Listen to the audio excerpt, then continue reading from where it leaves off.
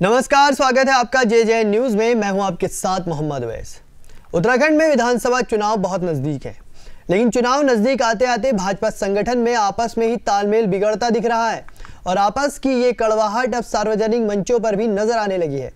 ऐसा ही एक मामला उत्तरकाशी से सामने आया है, जहाँ उत्तरकाशी में मुख्यमंत्री पुष्कर सिंह धामी के कार्यक्रम के दौरान मंच पर जब कैबिनेट मंत्री गणेश जोशी अपने सहयोगी मंत्री सुबोध उनियाल को संबोधन के लिए बुला रहे थे, उसी दौरान संगठन के पदाधिकारी ने उन्हें रोक दिया और कहा कि ये कार्यक्रम संगठन का है और संगठन मुख्यमंत्री पुष्कर सिंह धामी का स्वागत करना चाहता है और संगठन के पदाधिकारी ने सुबोध उनियाल को बोलने नहीं दिया और वापस लौटा दिया। चलिए पहले आपको ये वीडियो दिखाते हैं। सीधा मैं सुबोध भाई से कहूँगा। सुबोध भाई जी। हाँ आप हाँ, हाँ। हाँ। अरे यार स्वागत टाइम नहीं है उत्तर मिल पाएगा। एक मिनट एक मिनट अरे अरे मंच तो संगठन का है ना ये तो चलेगा ऐसे थोड़ी होगा। मुख्यमंत्री जी आए।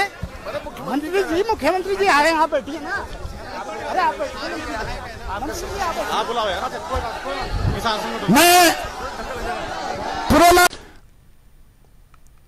तो इस तरह सार्वजनिक मंच से भाजपा संगठन और सरकार के मंत्रियों के बीच आपसी मतभेद सबके सामने खुलकर देखने को मिला। इससे पहले भी भाजपा संगठन में तालमेल बिगड़ने के कई मामले सामने आ चुके हैं, लेकिन विधानसभा चुनाव से ठीक पहले इस तरह से मंत्री और संगठन के बीच आपसी तालमेल ना होना सरकार और संगठन दोनों के लिए बड़ी मुश्किल पैदा कर सकता है। तो इस खबर में फ़िलहाल के लिए इतना ही। बाकी की खबरों के लिए देखते रहिए जे जे न्यूज़। नमस्कार।